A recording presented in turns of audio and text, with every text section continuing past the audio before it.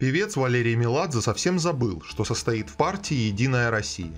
Напомнила артисту об этом телеведущая Ксения Собчак. На ее канале «Осторожно, Собчак» появилось полуторачасовое интервью с артистом.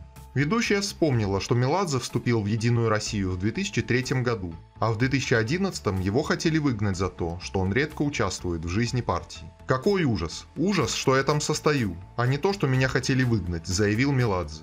По его словам, он даже не платил членские взносы и никогда не появлял себя в ней.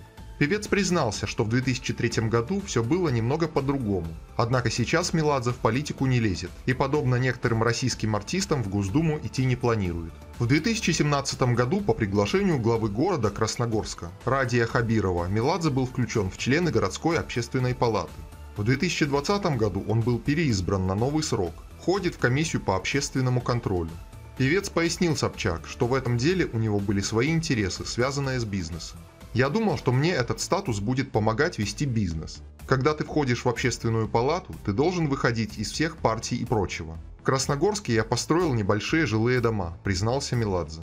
Валерий Меладзе является лауреатом множества премий. Поклонники знают певца по композициям «Сэра», «Самбо белого мотылька», «Красиво», «Салют Вера» и многим другим. От первого брака с Ириной Малухиной у Валерия четверо детей, сын и три дочери.